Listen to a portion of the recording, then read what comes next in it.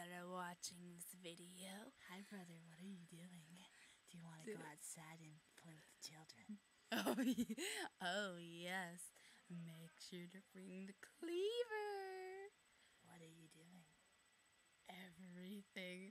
I played around in my mommy's medicine cabinet and now everything looks like rainbows. Bad Johnny. Rainbows! Bad Johnny. Oh. You're not supposed to go in mommy's cabinet. Sorry, children.